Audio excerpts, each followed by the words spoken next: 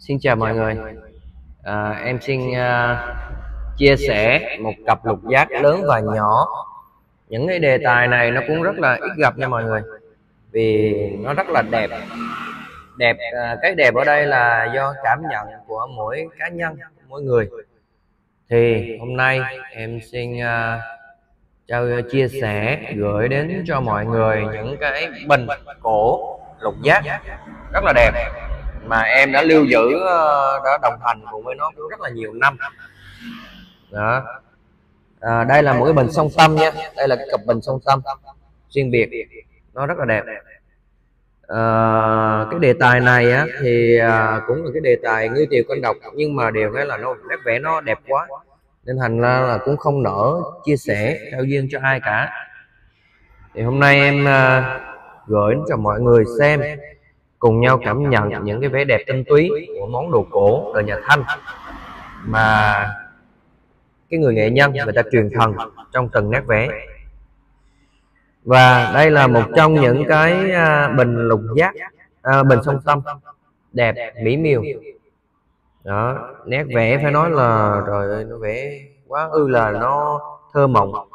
Cảnh đẹp thơ mộng là một cái cảnh đẹp núi non hùng vĩ kết hợp đi đôi với uh, mây mây bay vờn như thế này.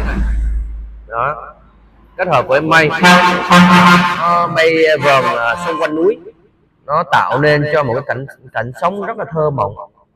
Đây ở lớp lớp ở ngay chỗ phía sau đèn núi đây cũng có những cái à, những cái nhà ở trên này. Đấy. rất là thơ mộng rất là đẹp.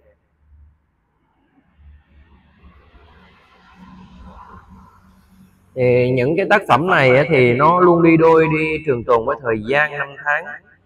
Đó. Cái này có một cái lạ ở sau là nó không vẽ một bài thơ không hay là vẽ một cái gì cả. Mà được cái là cái mặt trước vẽ rất là phiêu rất là đẹp, đẹp luôn.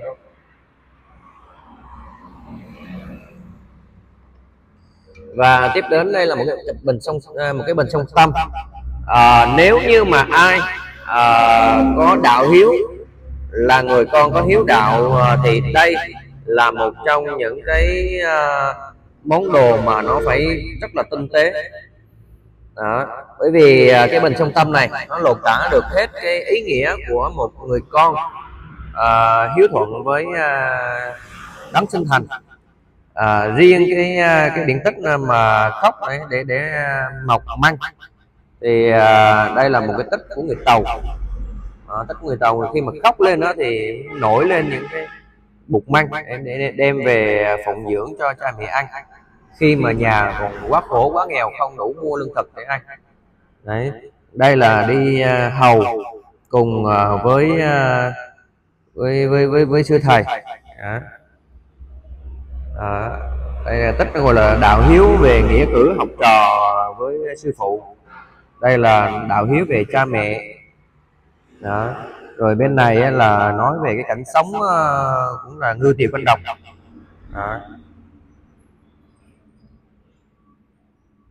vẽ khá là đẹp. Và bên trên này là nơi mà ở dành cho cho cho cho tiên. Người ta ví von. Có nghĩa là khi mà à, con người chúng ta là à, sống à, mà đạt được cái cảnh giới gọi là thiền tịnh hay là tâm tốt thì sau này sẽ lên ở gặp tiên ở nơi tiên để tu thêm. đó. Bởi vì à, ở bên Trung Hoa có một cái đạo gọi là đạo tiên đạo đạo nho đạo nho giáo. Khi mà à, trong bởi vì sao là có điện tích gọi là bảy ông à, tiên à, ông, ông bảy người à, à, người người phàm trần thôi.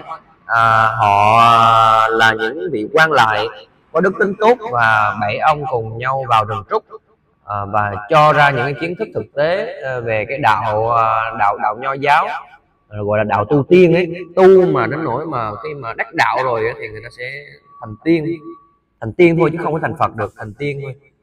Nên à, những cái người tiên rồi à, chúng ta hay có trong những cái à, Phật giáo thì thấy những cái vị tiên vị tiên thôi chứ không phải là vị Phật. Như tích Hà Kiên Cô này hoặc là tích ờ, Bát Tiên Quá Hải này. Đó. Thì những người đó là chính là những người phàm trần mà có căn số được tu và tu đắc đạo. Thì ờ, cái điện tích này nó cũng nói lên cái vấn đề như vậy. Có nghĩa là à, khi đạt được cái cảnh giới gọi là vừa tu tu tâm và tu thì sau này sẽ được lên lên ở ở trên cung ở thành tiên như thế này đó. đây là cái sông tâm vẽ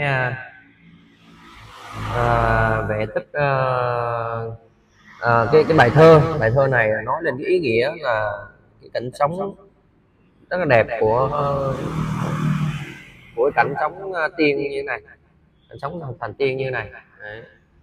trên miệng nó cũng có những cái vết vảy này Đấy, trôn và trung mộc Đó.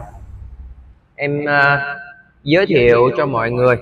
để mà mọi người thêm những cái kiến thức uh, thực tế về những cái món đồ đẹp mà em lưu giữ bấy lâu nay. Và bên em luôn nhận chia sẻ những cái món đồ cổ uh, chân chính và chia sẻ những cái à, à, trầm hương. Và ai có nhu cầu mà sở hữu muốn thưởng trầm chất lượng mà không cam kết nói không với cam kết nó không với hóa chất là những cái đây là những tinh túy về trầm hương thì à, với à, sản phẩm là một chỉ là 150 nghìn cho một sản phẩm hộp trầm như này hoặc là nhang nhân trầm thì các bác à, cứ liên hệ kết nối với em em sẽ gửi tặng nhà cho các bác dùng trầm và thưởng thức đồ cổ.